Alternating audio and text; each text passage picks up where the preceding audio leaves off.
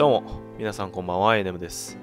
いつも僕の動画を見てくださり、本当にありがとうございます。この度、僕のチャンネル登録者が9000人を突破いたしました。というわけで、えー8000人突破した時にも行ったのですが、東京クールリインボークのフレンド募集を行っていきたいと思います。まあね、あのー皆さんからもね、そろそろフレンド募集しないんですかというコメントが多かったので、えー9000人超えた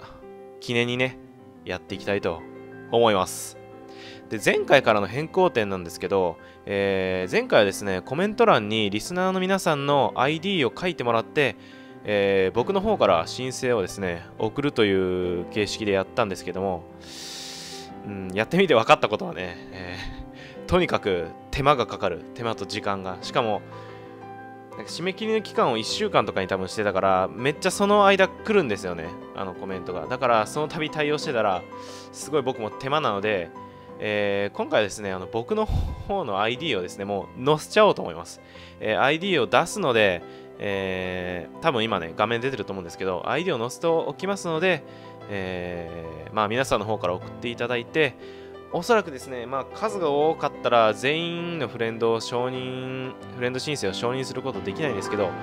フレンドになれる枠はね、前回40人ぐらい許可したのかな。で、それでまあやらなくなった人とかも、まあ、ログインしなくなったら僕はフレンド切っちゃうんですけど、まあ今は十分に枠は空いているので、えー申請の方よろしくお願いいたします。よかったらね、えー僕のチャンネルも登録していってくれると僕的には嬉しいですね。はい。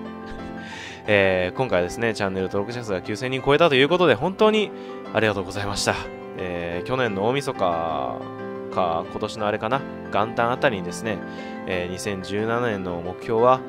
えー僕のチャンネル登録者数が1万人超えることだと、えー宣言したと思うので、まあ残り、えー3ヶ月ぐらいかな、なんですけども、今年も。まあ皆様と一緒にですね、えー最後まで楽しく過ごせたらなと思います。